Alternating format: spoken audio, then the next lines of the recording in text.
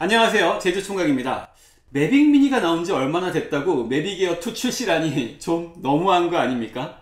매빅 미니로 재미를 본 사용자라면 매빅 에어 2로 갈아탈 수밖에 없는데요. 이건 완전 DJI 손안에서 놀아나고 있는 것 같습니다. 구매를 하고도 기분이 조금 찜찜하네요. 오늘은 매빅 에어 2의 구성을 소개해 드리겠습니다. 잠깐 구독 먼저 하고 가시죠 기다리고 기다리던 매빅에어2가 드디어 도착했습니다. 이번에는 실수 없이 Fly More Combo로 구매를 했는데요.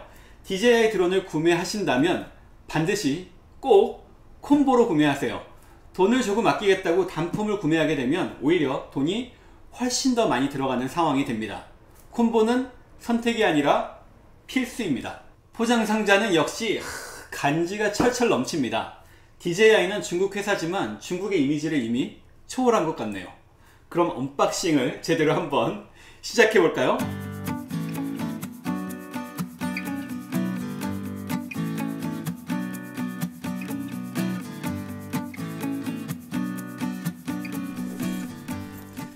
이게 바로 Fly More Combo를 구매하는 이유죠. 콤보에 들어있는 가방은 드론에 딱 맞게 나왔다는 게 가장 큰 장점이고요.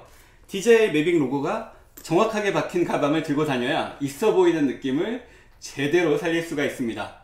그리고 비싼 드론을 아무렇게나 들고 다닐 수도 없고요. 드론에 딸린 악세사리들도 많이 있어서 가방은 필수라고 할 수 있습니다.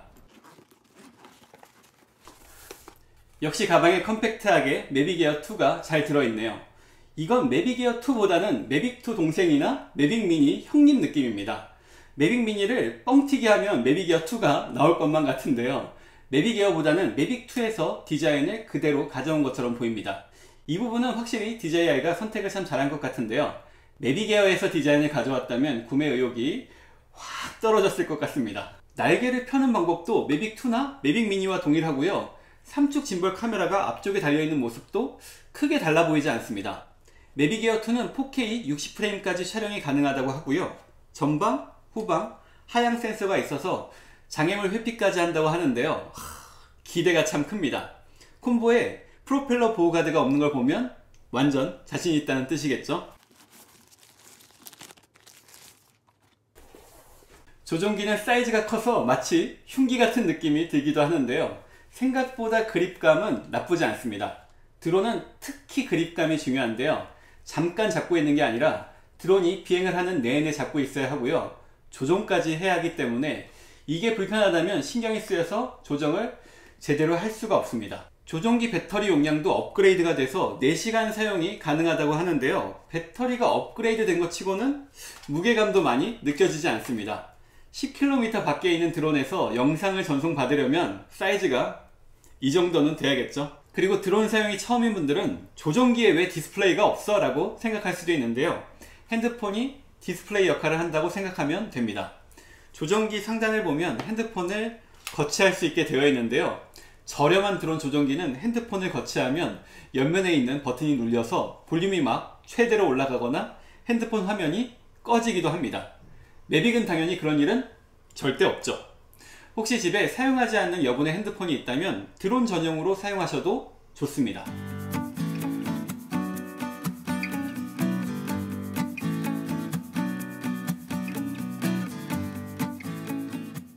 Fly More Combo를 구매해야 하는 또 다른 이유는 바로 이겁니다. 가방에 있는 상자를 열어보면 추가 배터리 2개와 충전기 그리고 충전 케이블이 들어있는데요. 배터리는 기본으로 3개가 필요합니다. 최대 34분 비행이 가능하면 배터리 하나만 있어도 되는 거 아닌가? 이렇게 생각하는 분들도 있을 텐데요.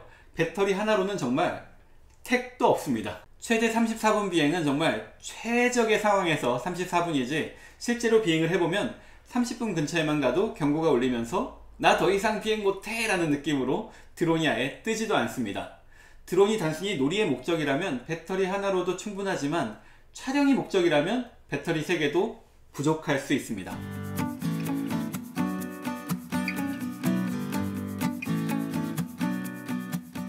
가방 안쪽 수납 공간을 열어보면 RC 케이블, 충전 허브, 보조 배터리 어댑터, USB 케이블, 여분의 조종기 스틱, 그리고 ND 필터 세트가 들어있습니다. 무슨 RC 케이블이 3개나 들어있나 궁금하실 텐데요. 이 케이블은 조종기와 핸드폰을 연결해주는 역할을 합니다. 핸드폰이 워낙 다양해서 모든 기종을 커버할 수 있도록 3개의 연결 케이블이 들어있는 거죠. 배터리 충전 허브도 꼭 필요한데요. 이게 없으면 배터리를 하나씩 충전해야 하는 엄청난 불편함을 감수해야 합니다. 충전 허브에 배터리 3개를 꽂아두면 순차적으로 충전이 되기 때문에 배터리 충전이 아주 편리해집니다. 그리고 배터리 어댑터도 있어서 한 개씩 따로 충전도 가능합니다. 조종기 스틱을 교체할 일이 없다고 생각할 수도 있는데요. 실수로 조종기를 떨어뜨리면 조종기 스틱 목이 톡 하고 나가는 경우가 종종 있습니다. 이게 정말 당황스러운데요. 조종기 스틱 여부는 많을수록 좋죠. 내비게어 2에는 ND 필터 세트도 기본으로 들어있습니다. ND16, 64, 256 총 3개의 필터가 들어있는데요. 숫자가 커질수록 카메라 렌즈로 들어오는 빛이 많이 차단된다고 보시면 됩니다. 도대체 이런 필터가 왜 들어있나 싶었는데요. 날씨가 너무 맑으면 영상이 밝게만 나오기 때문에 느낌이 좀 가벼워 보이죠. 이럴 때 ND 필터를 사용하면 좋고요. 폭포나 흔들리는 나무처럼 노출을 길게 잡아야 하는 사진을 촬영할 때 사용할 수도 있습니다. 그런데 아무래도 이 필터는 테스트를 좀 해봐야 정확하게 알 수 있을 것 같습니다. 포장 박스 안에 작은 상자 하나가 들어있는데요. 이 상자를 열어보면 설명서와 프로펠러 6쌍이 들어있습니다. 어떻게 보면 구성품이 굉장히 많아 보일 수도 있지만 드론을 사용하다 보면 이 모든 게 다 꼭 필요합니다. 그리고 가방이 있어서 아주 편리하게 모두 다 때려 넣을 수 있죠. 다시 한번 말씀드리지만 매빅에어2 구매 의향이 있다면 꼭 Fly More Combo로 구매하세요. 그렇지 않으면 내가 왜 combo를 구매하지 않았을까 후회를 하면서 필요한 액세서리를 하나씩 다시 구매하게 됩니다. 처음부터 Fly More Combo로 구매하는 게 정답이라고 할 수 있습니다. 오늘의 리뷰는 여기까지! 가성비 좋은 제품들이 궁금하다면 재주 많은 제주 총각을 구독해주세요. 여러분의 소중한 구독과 좋아요 고맙습니다.